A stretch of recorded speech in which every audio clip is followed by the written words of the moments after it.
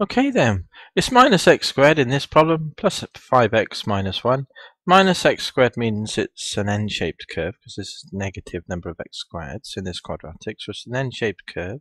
Let's get the roots. x equals minus b plus minus b squared minus 4ac all over 2a. a will be minus 1, there's a 1 hiding there, isn't there? b is 5. That's b plus 5 and c is minus 1. There's a. Put the numbers in then.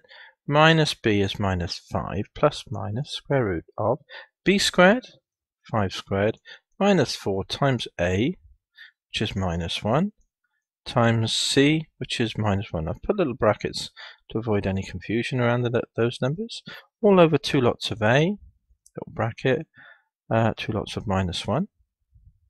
So x equals then minus 5 plus or minus this square root, whatever it is, all over this, which is minus 2 underneath. 2 times 1 is 2 with a minus.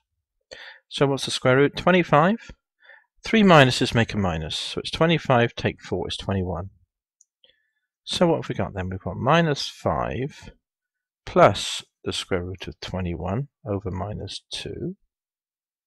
Or we've got minus 5 minus the square root of 21 over minus 2. So let's be a bit careful here when we tap it in the calculator because there's a lot of minuses flying around.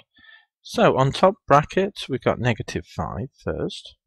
Then we've got plus root 21, square root 21, outside the square roots, close the bracket on top and divide by minus 2, so divide by bracket negative 2. There we are, put it in a little bracket to avoid any confusion. Get the decimal.